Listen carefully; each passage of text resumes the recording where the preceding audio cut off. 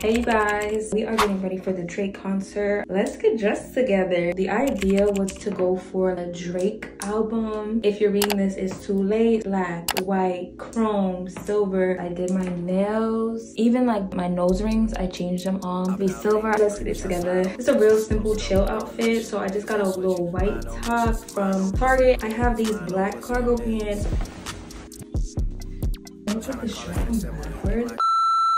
So we have pants on, shirt on. The idea is to wear my dunks. Everybody has these, but girl, it goes with the outfit, so not too much. I'm gonna put my accessories on. I just have this little chain.